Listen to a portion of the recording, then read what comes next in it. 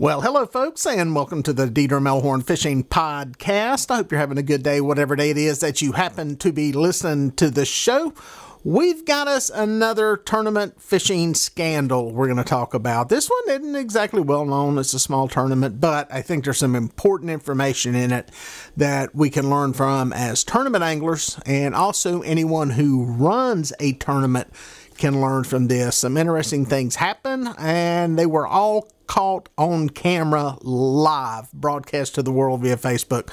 We'll get all into that in a minute. First, I want to thank all you folks that are regular listeners regular viewers of the podcast and all the people who are channel members who have joined the channel, who have clicked that little button down there and joined the channel on YouTube. I appreciate it and uh, appreciate you coming back. Uh, if you have any comments you want to send to me, if you're watching on YouTube, you can leave a comment in the comment section.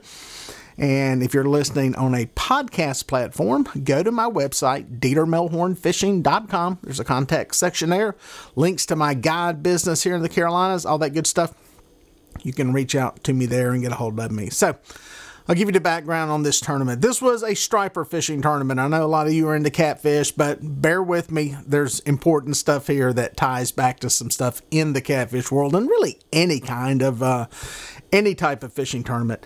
Uh, it was a relatively small tournament on Lake Norman in North Carolina. It happened a few weeks ago, and uh, it's a tournament where they're fishing for hybrids. I say stripers, it's hybrid bass. This was a hybrid only tournament, and uh, hybrids are basically a cross between a striped bass and a white bass. They're stocked into the lake. It's a put and take lake, put and take reservoir. Uh, you know, they put them in there, stock hundreds of thousands of them. People harvest them. They had a tournament, and uh, it's a four fish limit in this tournament and uh, the fish have to be at least 20 inches. That is the state law in North Carolina on this particular reservoir. The fish have to be over 20 inches for you to keep them 20 or larger. So that's the state law. Remember that point. That's going to play important here in a little bit. Um, as it stands on this lake, there's not a lot of fish that big. And when the bite is bad, getting a legal limit of fish can be difficult. And that's what was going on this day. It was hard for some of these anglers to come up with four fish to bring to the scale. So the fact that some of these fish were fairly close to the line is not surprising.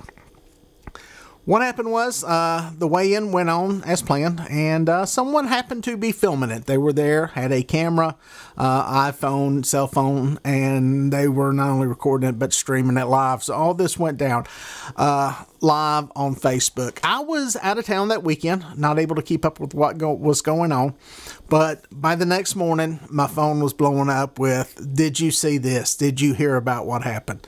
And, uh, you know, at, at first it started out as somebody brought undersized fish to the scale, which technically is illegal. You are possessing fish at that point that are illegal. If you have undersized fish in your possession, you bring to the scale, they're under the 20 inch limit, that's possession of the fish. And uh, that's an important point. Like I said, we'll get to that in a minute.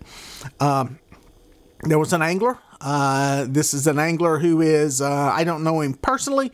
I know who he is, a uh, licensed charter captain. Uh, he runs a guide business in Tennessee. And uh, he knows fishing. He's fished bass tournaments. He knows how the whole process works. He brings some fish to the scale, and the fish are undersized. And there's video of this. I'm going to roll the video, let you watch it, form your own opinion, and I'll give you mine after we take a look at this clip. Three damn times.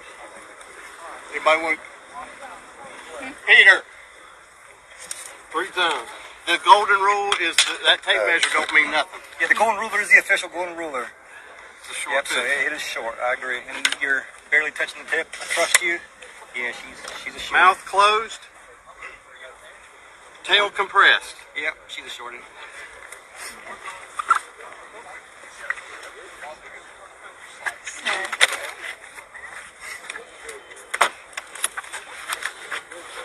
You need a golden rule on your boat. Same thing, short fish. 19 and a quarter. Yankees. 415. Four fifteen total. Sorry, man. Four fifteen big fish. Yeah. Bushwhacker. Yeah. Four fifteen. What? Your tape measure ain't calibrated.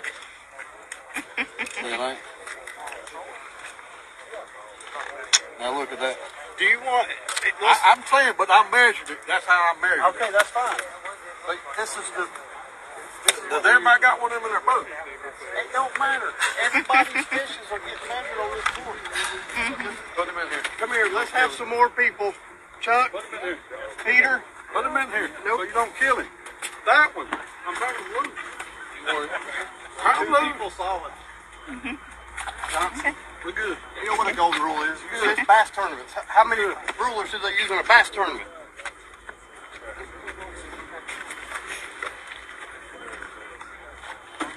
Does everybody agree with that?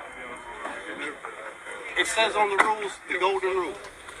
Well, there you go. He was obviously not happy, uh, but uh, there's some important things that happen here that, again, I think we can learn as anglers and as tournament directors.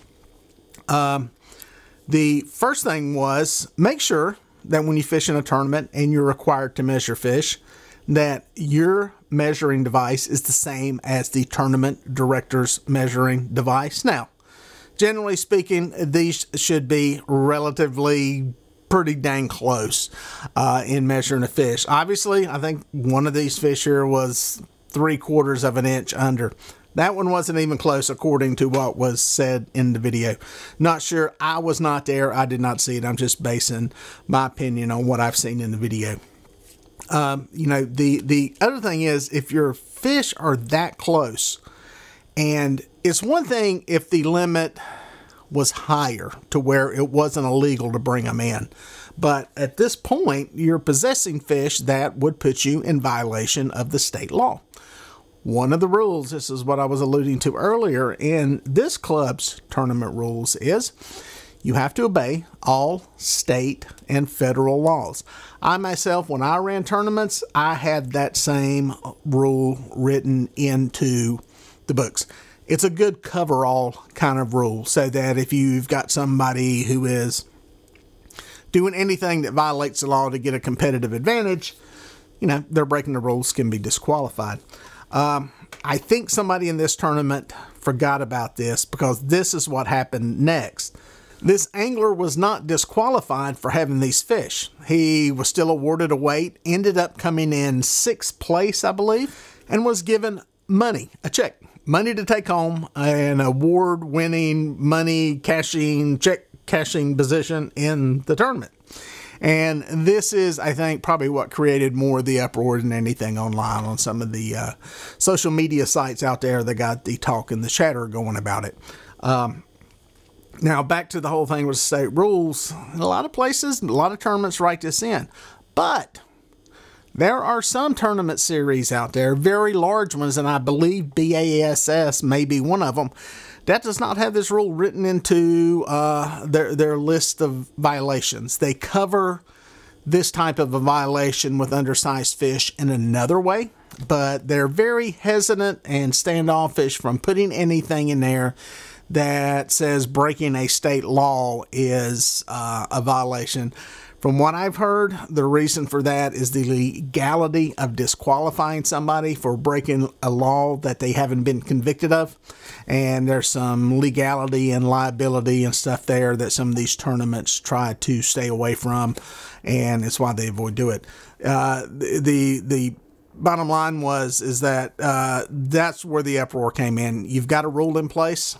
It's written in the rules nobody was disqualified for it. Now, was that on purpose? Was it an oversight?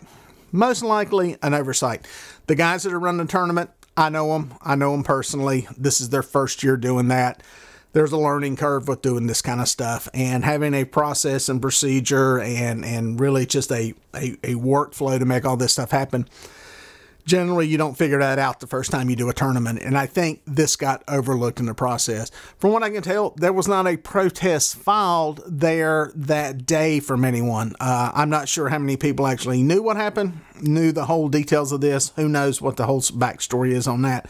But The bottom line is the angler was awarded a check and awarded money. Now, I would love to hear y'all's opinion on what you've heard to this point down in the comment section. Let me know if you think that angler should have been disqualified totally from the tournament, or do you just let those fish slide and award them the money as was done? Um, what ended up happening was uh, there was, like I said, a pretty big uproar about this. A um, uh, a, a lot of pushback, uh, a lot of stuff said online, and uh, what ended up happening was myself was one of the people who said, "Hey, you know, it, give the money back." The smart thing to do would be to give the money back. Uh, you know, save face, admit that this was done wrong, and uh, you know, in the end, that's what ended up happening. The angler actually gave the money back. He admitted that uh, he had broke the rules of the tournament, uh, didn't deserve to come in in the position he came in, and he ended up giving the money back. So, in the end, that's a good thing. That's a good ending of this. But like I was saying in the beginning, there's some stuff we can learn. You know, when you're a tournament director, the hardest thing in the world to do is to disqualify somebody you know. It's hard. And I've said that in any tournament out there, especially catfish tournaments. I have seen rules broken, rules violated by people, and tournament directors look the other way. They force it to the hand of somebody's got to file a protest for them to do anything about it. Even though stuff has been seen, stuff is obvious. It's hard for one guy to step up and file a protest against his buddy for breaking whatever rule violation. It's just something that doesn't happen. Uh, nobody wants a snitch, and you know it ends up with discrediting the entire tournament series when that happens, especially when people on the outside see it. They see what's going on. They start to not trust the people running the tournament. They start to not trust the anglers, and just the integrity of the entire tournament comes into question. Luckily, in this situation, uh, like I said, the money was given back, and I think it all ends kind of well. Uh, the other thing is the interesting part about the rule. Uh, you know, uh, give you, you know, give your feedback and your opinion on this. I'd love to hear that cover all state rule. Is that a good one? Is that a bad one? Is that a dangerous one to have in there? Because, uh, you know, there's stuff that is a violation of state law. And I always said when I was doing this that it has to give you a competitive advantage. If you go blasting through a no wake zone, you get a competitive advantage. You've broken the law. You get a competitive advantage by getting through that no wake zone faster than somebody who doesn't. Now, if you're running down the lake before the tournament starts and one of your lights burns out, okay? Okay, that's not something that one you did on purpose, you made happen. Uh, and it's not really giving you an advantage by that light burning out. Now, it may create a safety condition. Uh, somebody could run into you, into you, but I never would see something like that as a disqualifying point uh, to disqualify somebody from fishing. So uh, there's stuff like that to where I think there is some grace that can be given. But, you know, bringing in undersized fish, I don't know. What's your opinion? If somebody brings in undersized fish that are under the state limit, that would be if you were stopped by a game warden, a game warden could write you a ticket for possessing those fish. Because let's be very clear, folks, when you catch a fish, it's undersized, you bring it into the boat, you take time to measure it and then you put it into your live well, you are possessing that fish. Whether you keep the fish or not, whether you take it home, kill it, and eat it, or you ride around with it, it's in your possession, you're keeping it. You have broken the law at that point by having that undersized fish. Give me your opinion. I'm curious if that's something that is a disqualifying type thing. And uh, you know, what would you do if you were the tournament director in that situation? Uh, writing rules into this stuff uh, can be tough. Like I said, some of the bass tournaments, the big bass tournaments, have some rules in there that kind of avoid the state and federal law for disqualifying points, but they will write something in there that has to do with the integrity of the sport, integrity of the angler, that type thing that gives them the judgment call to disqualify somebody for doing something. That may be a violation of state or federal law. That may be a better way to go to avoid any of the legalities and litigation that may come from this. Because honestly, that can happen. Uh, when you disqualify somebody from a tournament, uh, it opens up a whole can of worms as to uh, how that can unfold. In some cases, it's kind of over and done with, and you move on from it. But there have been cases where some of that stuff has been pursued in court. So uh, while this one is not as uh, you know big and sexy as cutting weights out of something, it's still interesting that uh, it was caught on camera. It was caught live, and uh, I think that's a good thing. I think having these weigh-ins uh, and stuff videoed, uh, somebody there, whether it be live stream or just videoed, so that people can see it. I think it's a good thing. Uh, there have been catfish tournaments recently within the past four or five years where uh, there have been allegations of undersized fish being allowed to be weighed in and fish that appeared to be dead uh, being allowed to weigh in. So I think having a camera there to verify it, uh, you know, to either support it or, you know, show that it's not true, it's a good thing and uh, it's something we didn't have you know as much of 10 15 20 years ago in these things. It was just uh, it would happen and uh, the rumors would circulate and you never really knew. So love to hear your feedback on all this. This is one that's uh, kind of interesting. Uh, it's uh, something that's in this you know new big world of technology that we're able to see unfold in front of us. So give me your feedback. Let me hear your opinion on it. And until next time we'll catch you out on the water